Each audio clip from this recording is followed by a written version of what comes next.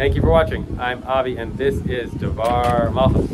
We are on page 41, Parshas Tzav, from Shabbos Hagadol, the 8th of Nisan, 1991.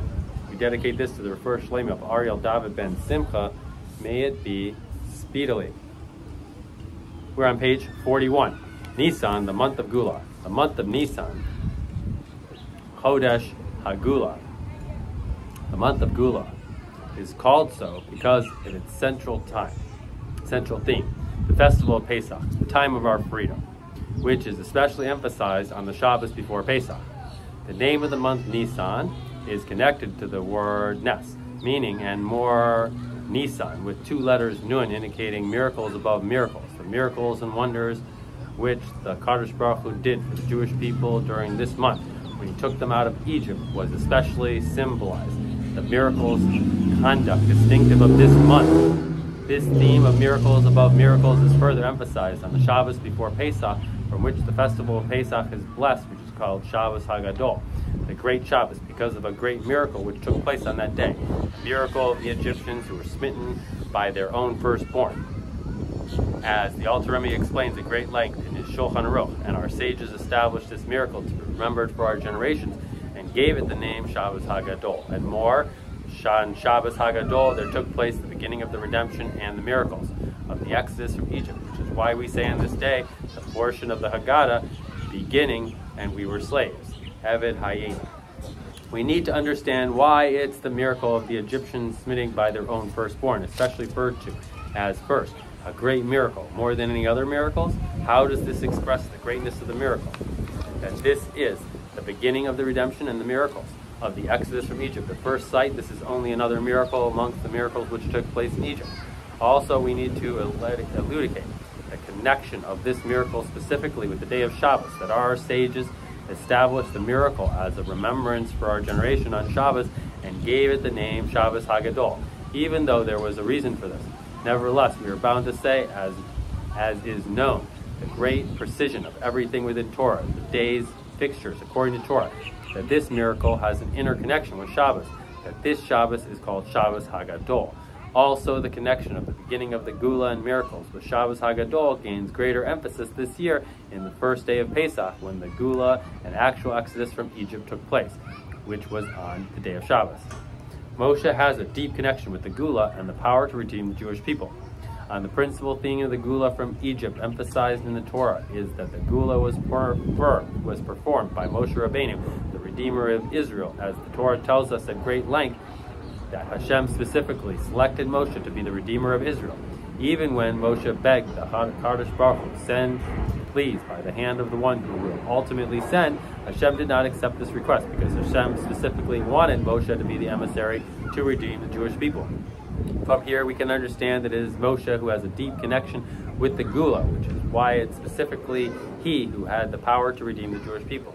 This is such an extent that our sages say regarding Moshe, he is the first Redeemer and he is the final Redeemer according to the Zohar. Moshe called the final Redeemer even with regard to the true and complete Geulah from the last exile, which will be our righteous Mashiach of which is written, as in the days of your exodus from Egypt, I will show you wonders, especially as known that the redemption from Egypt was the head and origin of all future redemption, including also the future Geulah, since the Geulah, every Geulah, comes specifically from the power of Moshe. And this is the power to bring the Geulah to the Jewish people can only be by Moshe Rabbeinu, the Redeemer of the Jewish people. The explanation of this is as follows. The purpose of the redemption from Egypt is and I have taken you for myself as a nation, and I will be for you, for you Elohim, and you shall know that I am Hashem your God, who has taken you from below the burdens of Egypt, and I am Hashem your God, who has taken you out from the land of Egypt. Namely, that the revelation of godliness in this world, with the Geulah from Egypt, is that the Jewish people are in the world, will see this, recognize, and know the Kadosh Baruch Hu, and accept upon them the Latin and Matan Torah Torah and mitzvot of the Kadosh Baruch Hu, and that by their avoda reveal godliness as a permanent and eternal feature into their lives and their portion in the world, as was performed by the Mishkan, the purpose of the exodus from Egypt and Matan Torah. And they shall make for me a Mishkan, and I will reside amongst them.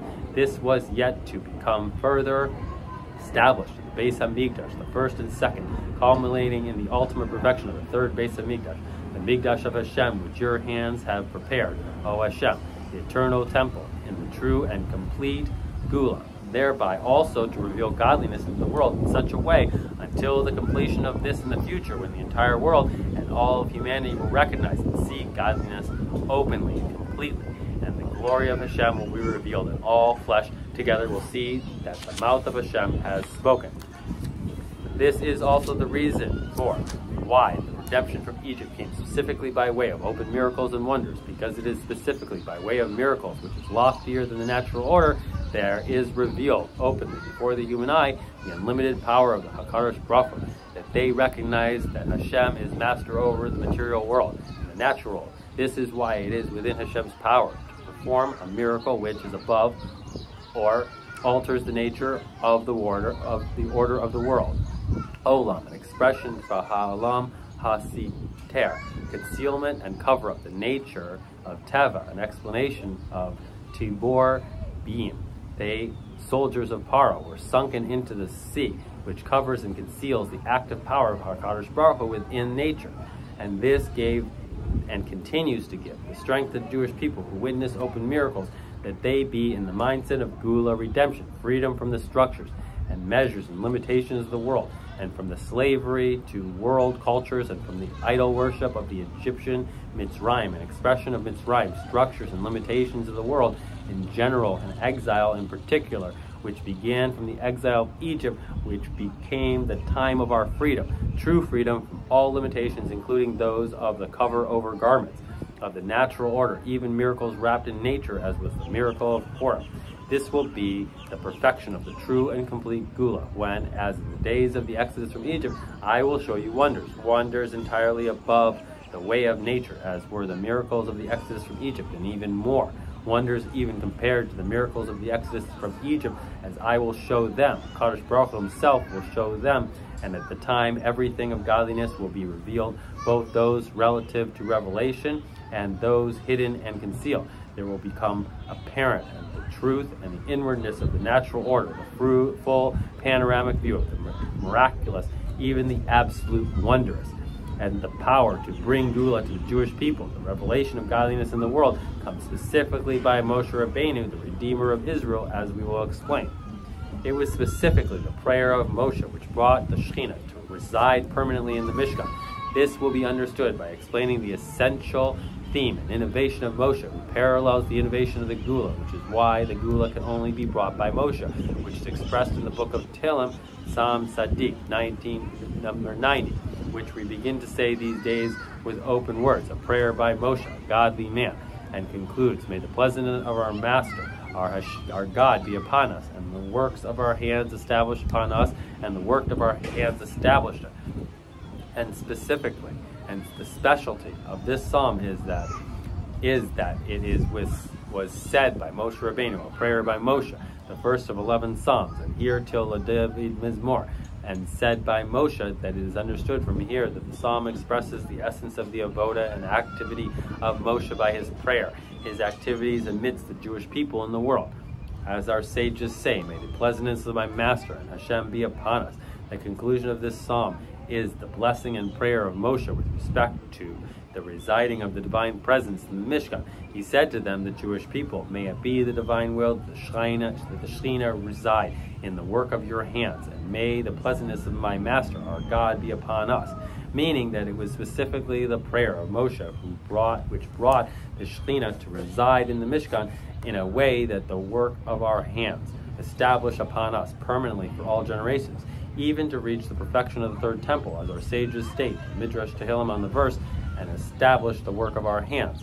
These words are directed towards the third Beis Hamikdash, over which HaKadosh Baruch Hu says, In the future I will bring it and make my divine presence rest within it, and never again will it be destroyed.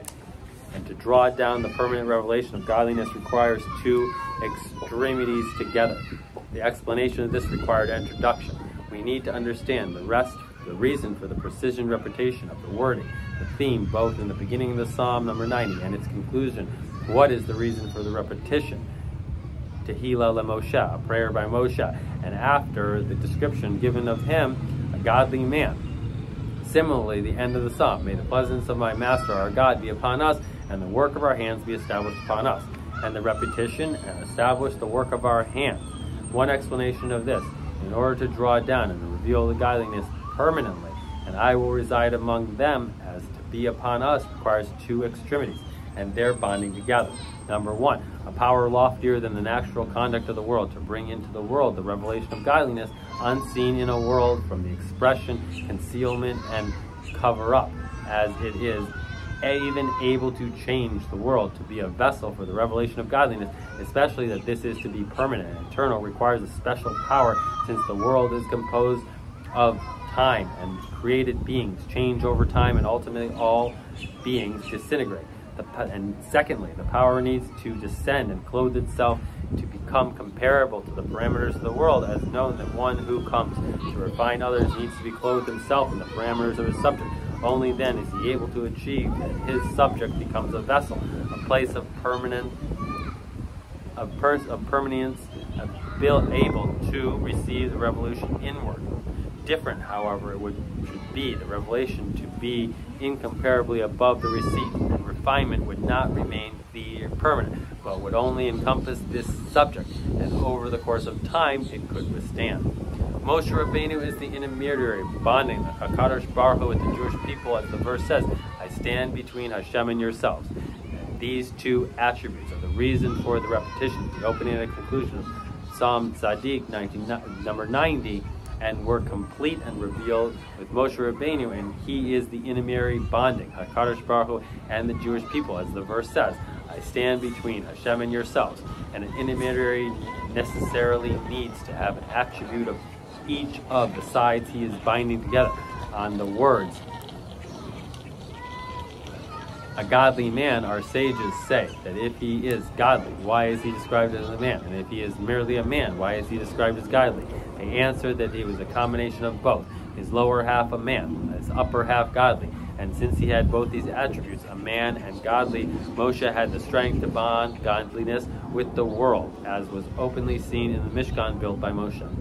In general detail, these two extremities needed to be an intermediary, intermediary are the two descriptive attributes, Moshe and a godly man, the double expression of the opening of the sum even though the attribute godly man describes the bond between two extremities, a man and godly, as they are one man, Moshe, yet the name used here for godly, Elohim, has a numerical value of 86, the same as Hateva. The natural order refers to the level of godly energy enclosed within and gives life to the natural order. This is why it is written, a godly man, and a man, Ish, from his lower half, describes how Moshe is connected with the world, but unified only with godliness relative to the creation, but not with Havaya, Yud Vavke, and Hashem, which is Hashem's essence, the revelation of godliness more lawfully than world, which was created with the divine name Elohim. In the beginning, Elohim created. Different, however, is the description given as Moshe, written before, is reference to he was drawn out of the water of the Nile. From the divine name said by Moshe himself and of Aaron, What are we? The name above godliness, which is more lofty than creation, which was created with the divine name Elohim. Well known is the explanation of this, that the source of the soul of Moshe is from the most lofty height, the spiritual category of Mayim, a hidden world above the earth and dry land where humans live. And it was from there, from within the spiritual water, that the spirit of Mo- that the soul of Moshe was drawn into the revealed world even into this material world in such a way that even as a soul and within a body here below, the heavenly spiritual waters are openly revealed to him as he openly cleaves to his source above, as the fish of the sea, which are continuously openly connected to their source of life, the waters of the ocean. Consequently, the full description of the opening of the psalm indicates both soul qualities of Moshe. First, Moshe represents his bonding in this world with godliness above creation, giving the power to reveal godliness here below and even to alter the world and draw down eternity, unlimited divine energy to this world. And second, a godly man, his bond as a man with godliness within creation, giving the energy to draw down godliness to Jewish people as souls within bodies in the world, whereby they are able to become vessels as they are, permanent for the revelation within the creation, and even I will reside among them a revelation of godliness from above. Moshe did not die. In every generation, this is according to the Zohar, Every generation there is an extended presence of Moshe. Accordingly, we understand the repetition at the end of the psalm, and the work of our hands be established upon us, and the work of our hands establish it. Since Moshe Rabbeinu, the bonding intermediary, had both qualities, Moshe and a godly man, this is why Moshe here below has the, both the qualities of eternal and permanence, unlimited power, openly, as is hinted by the continuation of the psalm, you have been a shelter for us in every generation before the mountains came into being. Forever and ever, you are almighty. Indeed, a thousand years are in your eyes as yesterday has passed. In this, why does eternity descend into time also to Moshe, a godly man, that he is subject to godliness? Eternity with Moshe himself, as the Talmud said, Moshe did not die and in every generation there is an extent to the presence of Moshe. This is in addition to the presence of Moshe within every one of Israel. The same is true of his power and the details of his being, that even the works of his hands of Moshe, the Mishkan, which Moshe built, are eternal. This is why it was specifically within the power of Moshe to draw down the Shekhinah by his tefillah. May the pleasantness of my Master, our God, be upon us. May it dwell with the divine will that the Shekhinah rests within the work of your hands, established upon us permanently for all generations, that this, the work of you, our hands, be established, referencing the eternity of the third Beis Hamikdash, never to be destroyed. And just as Moshe had both qualities, Moshe and a godly man, so also there is two qualities, the double expression of the blessing of Tefillah of Moshe. May the pleasantness draw down the Shekhinah into the Mishkan, godliness from above the world, that this be enclosed deeply within the world here below. This is an indication by the repetition within the Psalm's final verses. First, and the work of our hands be established upon us, and encompassing above us that is his that this level of godliness is without limits. And secondly, that and the work of our hands establish it, that he Hashem strengthened the work of our hands itself, and the establishment preeminates, permeates also within the work of our hands, and not only as established above us. Usually, a double expression indicates the existence of something for eternity, as is double success. That this is not only meaning double, but more both in quality and in fortitude. And the double expression are also connected to the Geulah. A psalm, a song for the day of Shabbos, Psalm 92. The opening letters of these four words spell the Moshe, the greater detail. Mizmor Shir Le Yom HaShabbat. Mamshin Lamed He. A greater detail according to the elucidation of Rashi in this double expression. The repetition by the psalm, the establishment of the work of our hands is for the work of the Mishkan, for which Moshe blessed the Jewish people and prayed that Shekhinah reside in the work of their hands, the Mishkan, and also wants that there be a blessing in the works of their hands.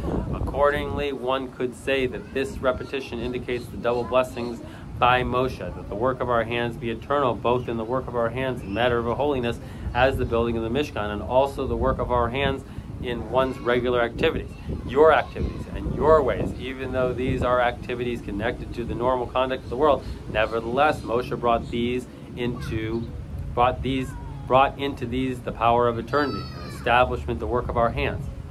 Further, opening words of the psalm, a prayer by Moshe, is actually a part of the Shabbos prayer. Therefore, it's understood that this tefillah has a special connection to Shabbos, especially that a psalm, a song for the Shabbos day, is part of the prayer for Moshe, one of the 11 psalms composed by Moshe, which is why Moshe inserted his name into the psalm. The connection is as follows. On the verse, a song, a song for the Shabbos day. Mizmor Shir Layom HaShabbat. Our sages comment, Midrash Tehillim, the activities of Shabbos is double, is explained in many sources that the double expression is in fact two levels, two Shabboses within each Shabbos. The Erev of Shabbos and the Shabbos day. According to the Zohar, tranquility revive, re, tranquility relative to toil, and tranquility is, is in essence this is the difference between the divine name Elohim, godliness relative to creation, and divine name Havaya, Yud godliness above the creation.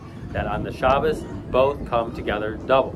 One could say that this parallel the double expression of the opening of Psalm 90, a tefillah by Moshe, Havaya, and a godly being. Also at the end of the same psalm, number 90, may the blessing of my master, our God, be upon us that pleasantness is the level of Shabbos as the building of the Mishkan and the work of our hands established upon us and the work of our hands established it refer both to tranquility relative to toil of the activities of our hands and tranquility in essence upon us. This is a wider perspective. Establish the work of our hands of the days of the week. For six days you shall work and pursue all of your activities, and the work of our hands be established upon us days of Shabbos when all your work has been completed. Shabbos is comparable to Moshe, connected to eternity, as is known that on every Shabbos there is a similarity to the ultimate day, time period, which is eternally one Shabbos and tranquility for all living eternity when there will be a perfect revelation of the essence of tranquility, eternal tranquility, and the geulah immediately will be redeemed. Really, immediately we, will we be redeemed comes by observing two Shabbos, according to the Hacha, two levels within each Shabbos. A prayer by Moshe, a godly person, Psalm 90, the letter, the letter Tzaddik, and Psalm 90. Accordingly, the reason of the tefillah, a prayer by Moshe, a godly man, and so, Psalm Tzaddik, both from the perspective of the number 90 as the letter Tzaddik. 90, three times entitles ownership. Hazak, being an impression, expression of strength that by continued presence or, or redemption three times becomes established, strengthened, and remains forever. And the full perfection of the strength of authenticity, of authenticity of the three times itself is 90, which is three times 30. 3 times 10. This is the perfection of any number when it's inclusive of 10 because the number 10 is the perfection of the number indicating perfection, which is why the future geulah, the entire no, geulah, is connected to the number 10 with the 10 string instrument, the 10th song, the 10th red heifer of Moshiach. Accordingly, 10 times 3, 30 is complete strength, complete more than 3, 6, 9, and 90, 3 times 30, is complete perfection of strength. The Hebrew letter tzaddik, the regular way whereby our sages write this letter in full, tzaddik, without the letter kuf at the end. In many places, they write it as uh,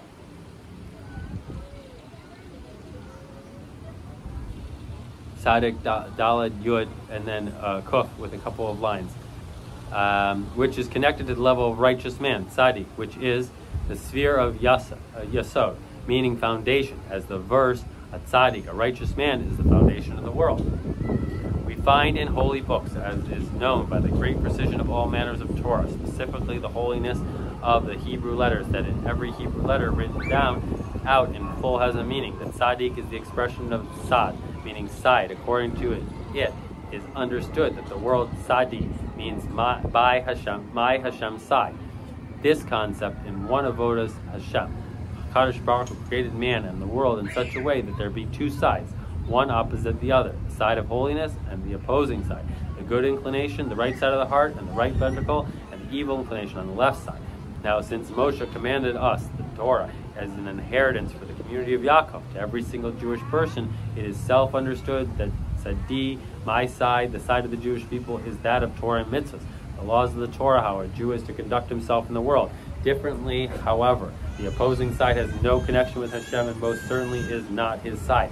However, from a different perspective, this is called my side, only my side, and not me, my very being. Since HaKadosh Baruch Hu created the world by his divine name Elohim, the world appears as an independent side. One side opposite the other did Elohim create a world which conceals and hides godliness.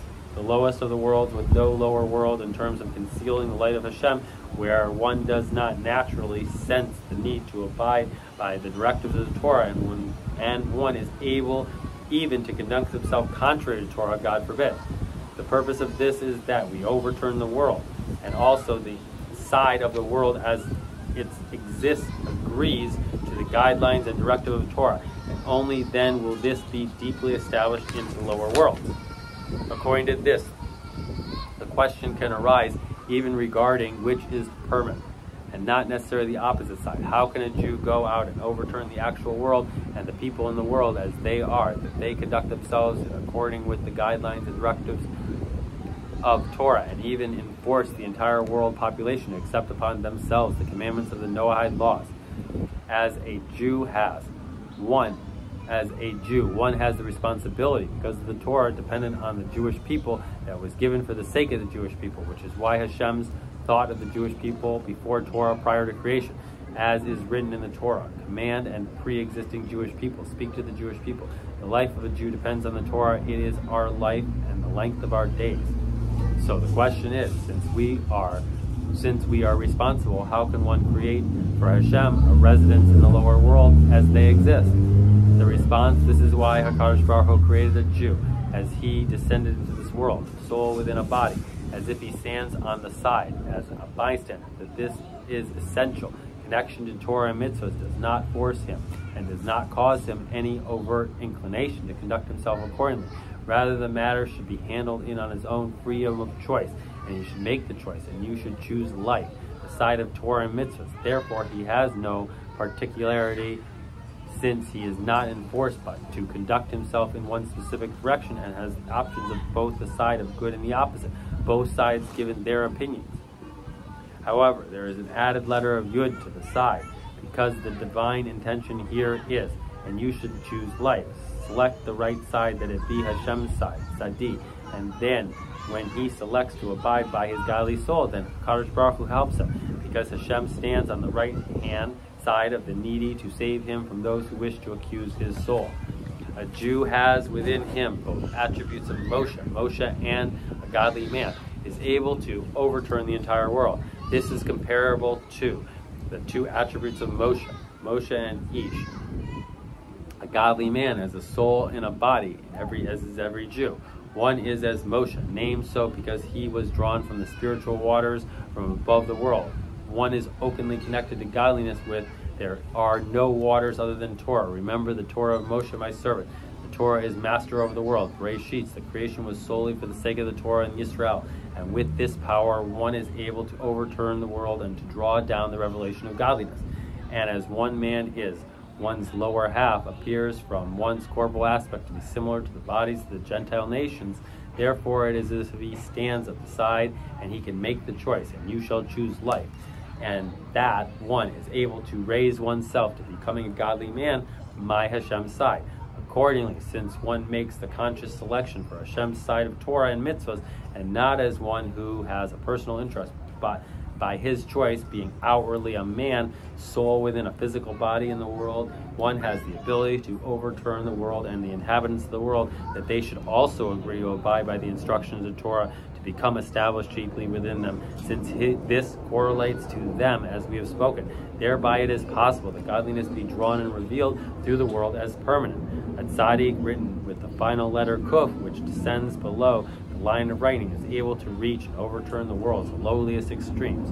We still need to understand, as we have spoken above, of the avoda of tzaddik, the drawing down of godliness into the permeated areas of the world, into the natural world created by the divine name Elohim, which indeed conceals godliness but is not opposed to godliness. That the avoda of refining the world is by enclothing oneself in God as a godly man, Elohim. The parameters of the world should also be internalized in this.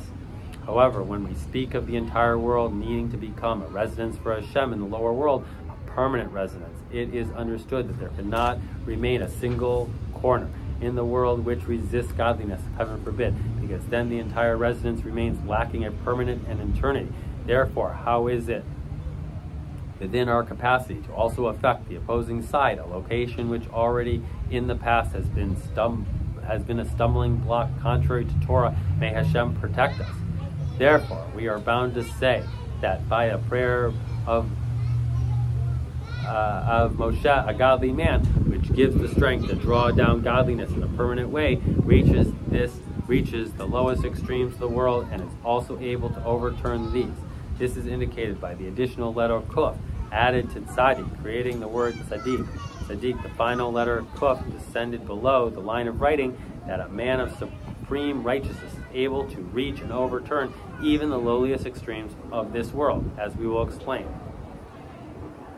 Bitya, even still as the, or sorry, Batya, Batya, even still as the daughter of Paro, Paro saw the Shekhinah with Moshe and drew him out of the water.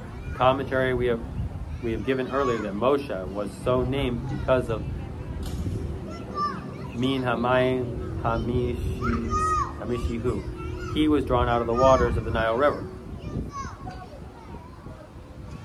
Indicates the revelation of the divine name, Havaya, Yudke of the above world from the hidden worlds. There begs to be asked a simple question. These waters from which Moshe was drawn were the waters of the Nile River, and she, Miriam, placed the casket amongst the reeds of the edge of the river, meaning adjacent to the idol worshippers of Egypt.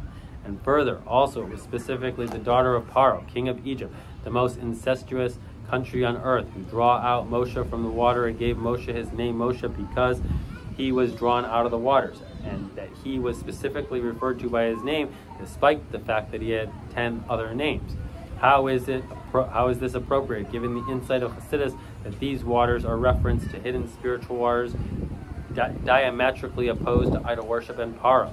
The explanation to this is that only in a way that could this the explanation to this is that only in this way could this be achieved. That which has the loftiest source falls to the lowest of extremities. In order to reach godliness above the parameters of the earth, it is imperative that it be specifically the daughter of Paro who is needed. This is indicated by her name Batya, an expression of Bat, daughter, represent from uh,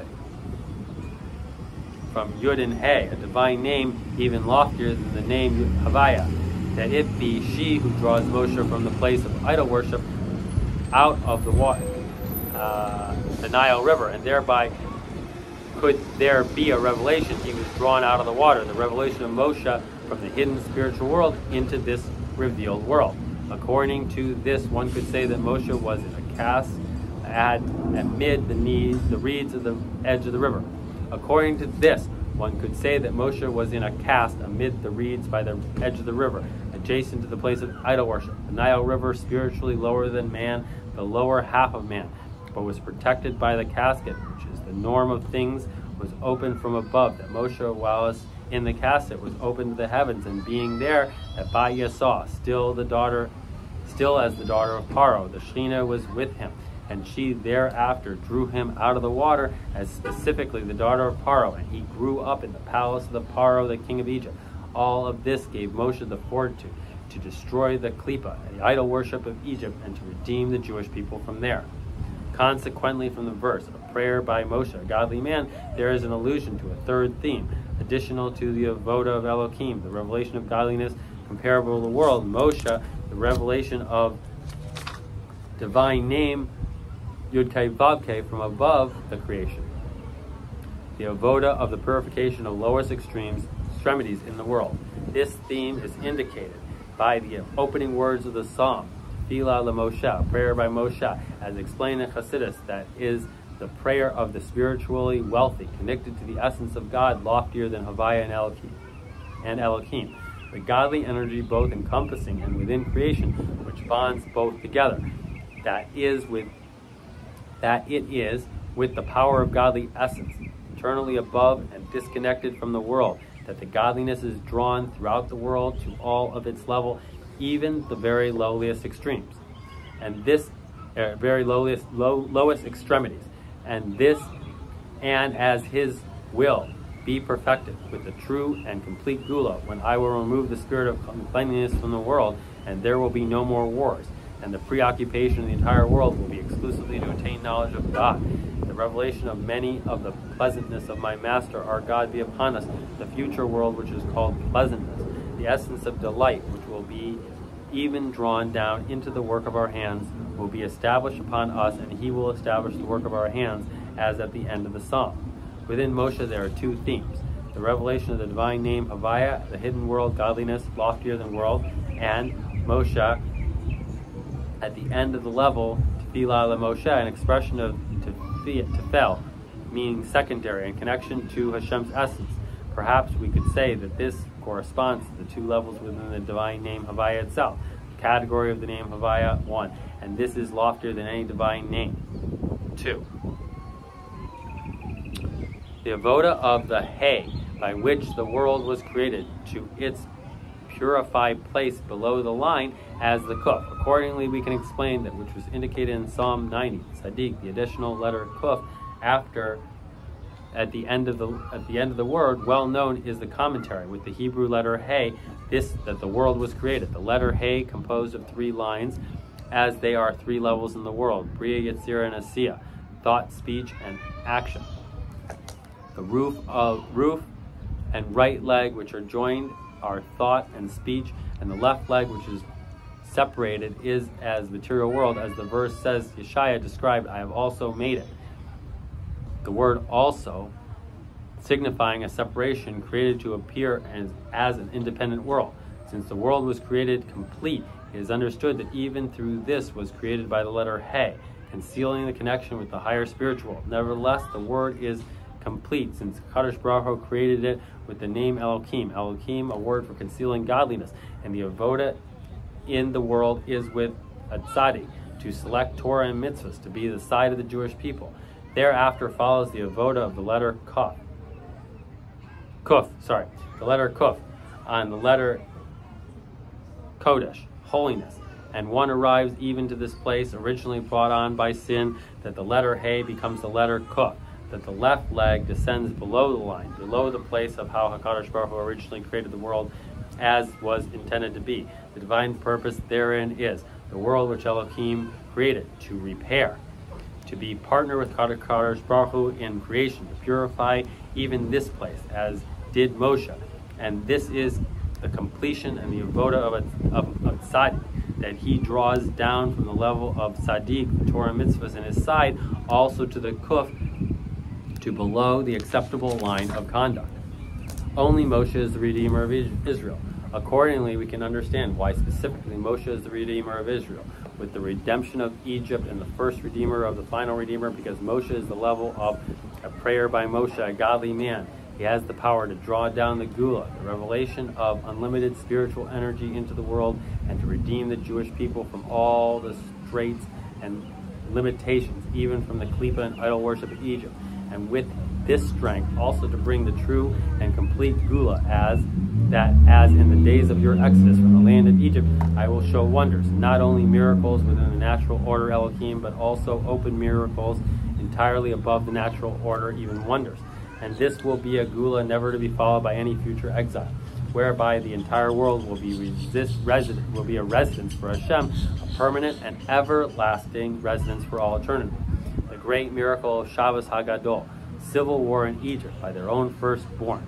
With this, we will be able to explain the meaning of the great miracle on Shabbos Hagadol and its connection especially with Shabbos, the miracle of Egypt smit by their own firstborn, that the might of the unholy itself, the firstborn of Egypt, struck Egypt, a land filled with idols, and purification by the kuf below the line took place by a revelation of godliness of the highest degree, above the miracles which took place for the Jewish people themselves, or even miracles performed by Hakadosh Baruch Hu, revealing even more the power of eternity and limitless power of godliness descending even to that place. Therefore, precisely this is referring to Nas Gadol, a great miracle. Then and it was specifically this which brought on the beginning of the Geulah and miracles of the redemption of Egypt. The common the commemoration of this, the commemoration of this great miracle was established especially to be Shabbos, and Shabbos is connected with the eternal Geulah, the future period which will be entirely one Shabbos and eternally tranquility. Also, the status of Shabbos is double, that a double wording in Torah is also connected to Geulah. Therefore, the Shabbos, when there took place a great miracle, a civil war in Egypt. This overturned the entire Shabbos to become Shabbos Hagadol, the great Shabbos. Therefore, it is this Shabbos that has the fortitude to bless the festival of Pesach. Further, the calendar fixture of this year and several other years, Shabbos Hagadol falls on Shabbos Parsha Tzav. That Tzav is an expression of action to be taken taken speedily and for generations to come, emphasizing even more the revelation of eternity here below in this world coming from the unlimited strength of HaKadosh Baruch Hu, commanding Moshe Rabbeinu, Tzav es Aharon, command, and you should command Aaron, and through Aaron to reach every single Jew, since Aaron loves Shalom and pursues Shalom, loves people and draws them to Torah, that one has and command the limitless strength from HaKadosh Baruch Hu, both for now, immediately, and for future generations immediately without any disturbances or delay in carrying out the commandment. Immediately because one is totally preoccupied with this to the extent that this is his life's work, entirely imbued within him. And for generation, that this strength continues with dexterity. Also, the forthcoming generations, plural, that when there is the strength of three generations, one own and two for future generations, this becomes eternal for all generations, and every activity one undertakes will be successfully established by Hashem. Yalkut Shimoni. My children, do not be fearful, the time of your Geulah has, has arrived. That of which we have spoken gains greater momentum as we find ourselves in the month of Nisan of this year. This will surely be the year which I will show you wonders. As we spoke also in the general letters of the miracles and the wonders which take place in this year, Close to Purim, the enemy regime, Saddam Hussein, against the Jewish people was eliminated, and the victory through the enemy to set free America in a good way, a portion of the war captivities, as we have spoken in detail previously. And most certainly, HaKadosh Baruch Hu will continue to show miracles and wonders leading to the ultimate, I will show wonders, the true, complete Geulah, the ongoing war in the part of the world, the king of Persia, Iran, with the king of Ar, Iraq, that they are the signs that should the Geulah is coming by a righteous Mashiach, as we find the Yalkut Shimoni, as worded there. My children, do not be fearful. The time of your Geulah has revived. And Melech HaMashiach is standing on the roof of the Beis HaMikdash and is making it heard for the Jewish people and says, Humble ones, one, humble ones, the time of your Geulah has arrived. One must elevate oneself to the highest degree, reaching a true great miracle in his avoda. From all the above, there is an instruction to every Jew in his personal avoda as we stand in the year. I will show you wonders, and now in the month of Nisan, and in the week of the festival of Pesach, the time of our freedom, and in the light of the events and miracles which are revealed to the human eye and before the eyes of all nations. This ought to further awaken every Jew's desire and strength to perform his avoda in a miraculous way. Even miracles within miracles is insufficient that he rises above his nature as until now in his learning Torah and performance of mitzvahs beautifully. Rather, one must elevate oneself to the highest degree to go from strength to strength until he reaches a truly great miracle, which is connected. Havaya is great and exceedingly praised. And for this, there is a special gift for the strength of Parsha of Psalm 90, a prayer by Moshe, a man of God. May the pleasant of, may the pleasantness of our Master, our God, be upon us, and the work of our hands establish upon us, and the work of our hands establish it, that the Shekhinah resides in the world of your hands. And Moshe gives the strength to every single Jew, especially coming from Moshe within oneself, impacting one's actual voda, enabling to reveal the tzaddik within oneself. Your nation are tzaddikim, as one is bound to Havaya, who is a tzaddik in all of his ways. Thereby, one's avoda will reach the perfection of tzaddik, that one surrenders oneself entirely to the side of Torah, to become entirely my side, that there cannot be any other side to one's life, both regarding oneself and also influencing others and spreading Torah, Judaism, and spreading the well springs of Hasidus outward, and to influence the nation of the world and the world regarding their seven Noahide laws. And for this, one can make use of an additional event to add to one's avodas Hashem. By divine providence, there was announced decision, which has a numerical value of tzaddik, number 104, from the House of Representatives of this country, proxies of the entire nation, empowering by halacha the laws of the land is final, final that on the 11th day of the month of Nisan has been established as Education Day to strengthen the virtuous education of the young generation, which is found, which is the foundation of the world habitation for all citizens of this country and the inhabitants of the world, and perform this as a tzaddik, a campaign of righteousness, reaching the ends of the earth, and with special emphasis to the timely need to provide all the necessities of the festival to those who need it, requirements for the Seder, matzah, the four cups of wine, etc., the general requirements for the Yom Tov, Yom Tov clothes, food, Yom Tov, etc. I would also like to bring attention to of another theme connected to this. In those locations where there are arrangements for public seders, there are several locations where they make preparations just for one seder due to lack of funding. There is the need, and it is most advisable to make a great effort to make two seders, at least to divide the expenses for two nights. And certainly they will not have to do this because Hakadosh Baruch Hu will certainly bless and provide those activities with all of their needs and even more. May it be the will of Hashem that there be already fulfilled the prayer, prayer of Moshe to the full, and the and of Moshe within every single Jew. The Moshe Ish Elohim Tefillah, a prayer by Moshe, a godly man. May the pleasantness of my Master of God be upon us, and the work of our hands establish upon us, and the work of our hands establish, and the Shekhinah resides in the works of your hands, in our activities and avoda during the time of exile, and immediately the main point, the third Beis Hamikdash, the Mikdash which your hands have already built.